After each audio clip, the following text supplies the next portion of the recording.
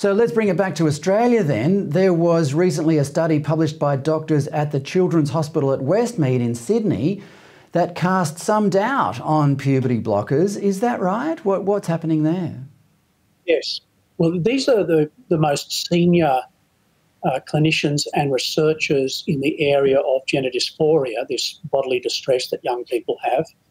Um, and they are based at Westmead Children's Hospital. Uh, also operate out of University of Sydney.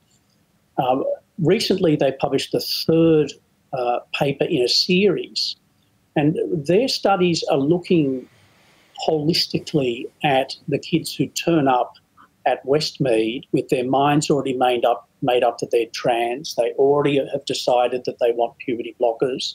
Often their families are thoroughly convinced that this is you know, this is what has to be done and should be done straight away.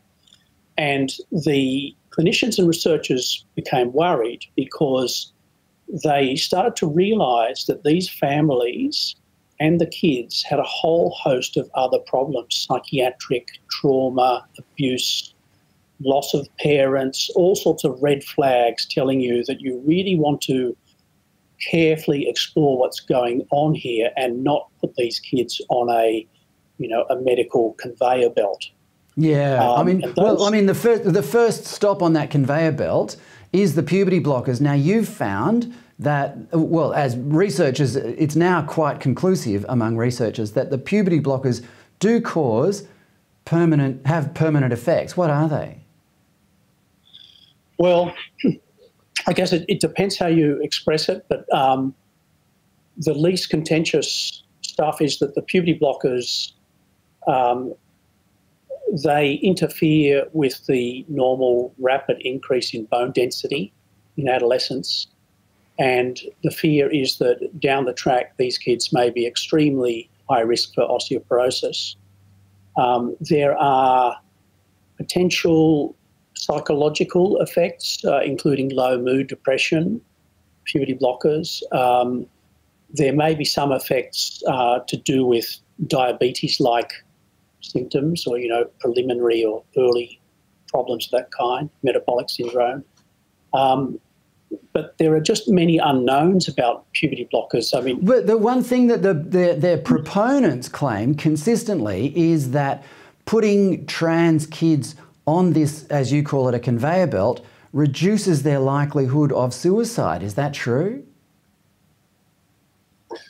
There's no direct evidence for that.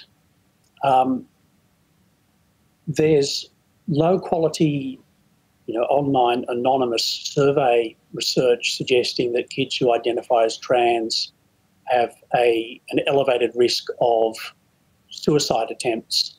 But as I say, that's low quality data.